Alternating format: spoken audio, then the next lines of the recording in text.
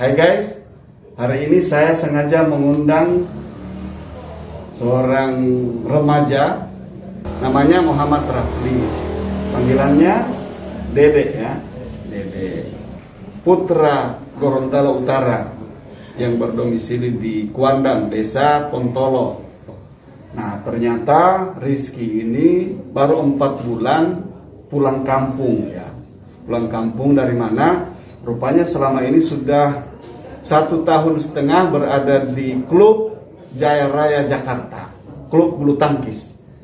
Sengaja saya mengundang karena baru-baru ini menjadi juara satu di pertandingan Open Turnamen bulu tangkis di Gorontalo Utara. Nah, Ricky, eh, Dede, nama panggilannya Dede. Bagaimana ceritanya sampai bisa bergabung dengan klub sebesar Jaya Raya Jakarta?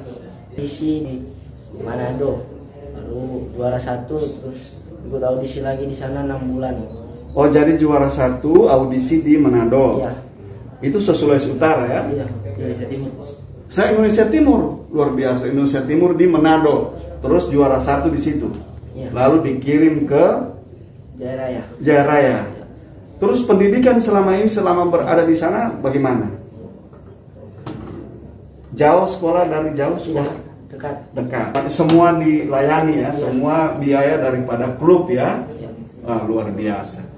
Terus prestasi apa saja yang sudah diraih setelah bergabung dengan klub Jaya Raya Jakarta?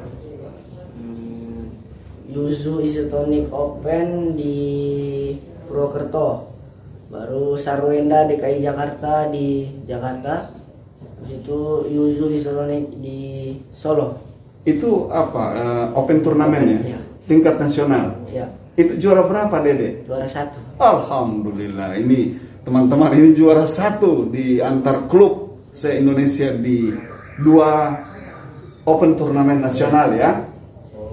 Terus eh, cita-citanya apa? yang juara dunia Juara dunia.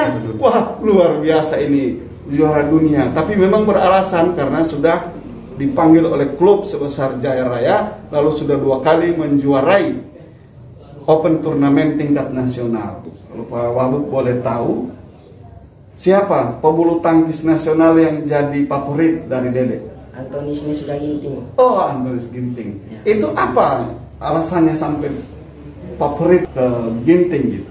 Eh, mainnya lincah terus penempatan bolanya bagus napasnya juga kuat Napasnya kuat. Napas kuat, lincah, baru apa tadi? spi- eh, kecepatan ya, dan penempatan bola penempatan bolanya bagus ini, luar biasa. Jadi juara dunia, jadi cita-cita Dede ya, iya tidak rindu selama berada di sana sama orang tua. dulu Rindu, tapi itu terobati kerinduan kepada orang tua karena apa? Eh, karena mau juara dunia Mau juara dunia luar biasa.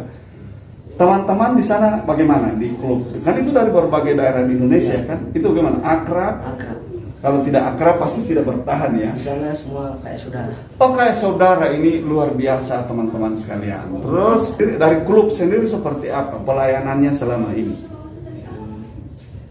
Bagus ya, makannya bagus. ya Tidur jam dari jam berapa sampai jam berapa? Maksimal itu jam 10 Maksimal jam 10. Di kamar sudah harus ada jam berapa? setengah 10 Setengah 10. Eh, Setengah 10 sudah harus ada di kamar. Pagi subuh ya. ya Terus latihan, bagaimana latihannya? latihan Jenis-jenis latihannya seperti apa? kalau latihan pagi itu dari jam 6 sampai setengah 8 Jam 6 sampai setengah 8. ya habis habis itu latihan sore dari jam 4 sampai habis maghrib Yang berat ada, apa yang terasa Fisik. berat? Fisik ya. Fisik itu seperti apa? Kalau lari kelincahan salteran itu apa pesan dari Dede untuk teman-teman di remaja-remaja di Gorontalo Utara maupun di provinsi Gorontalo? latihan terus jangan putus asa terus eh, harus sholat lima waktu harus taat kepada orang tua Ya, luar biasa. Jadi lah harus latihan yang keras, jangan putus asa, sholat kemudian sholat lima waktu, kemudian taat pada orang tua. Mudah-mudahan prestasi bisa diraih.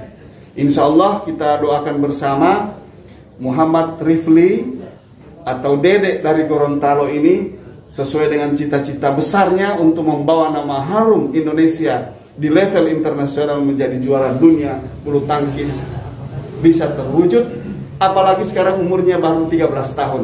Pesan saya walaupun sudah ulang-ulang kali diingatkan tadi itu dipertahankan terus ya sholat lima waktu jaga kesehatan dan insya Allah tetap rendah diri. Nah itu penting. Baik-baik dengan teman dengan pengurus dengan pelatih dan tidak boleh. Insya Allah kalau sudah jadi juara dunia pun tetap tidak boleh tinggi hati tetap rendah hati kepada sesama selamat ya insya Allah pemerintah daerah pemerintah daerah Gorontalo Utara sebagai tempat dan asal dari Dede ini kami tentu akan mendukung hanya memang kami baru ketahui bahwa ada siswa kami dari sini yang luar biasa umur 13 tahun sudah dipanggil oleh klub sebesar Jaya Raya. Kami yakin anak ini kami senang bahwa anak ini pendidikannya tetap dijamin, prestasi dijamin, tapi pendidikannya juga tetap diperhatikan. Insya Allah kita doakan bersama Dede atau Muhammad Rafli bisa menjadi membawa nama harum daerah bahkan membawa harum Indonesia di kancah internasional.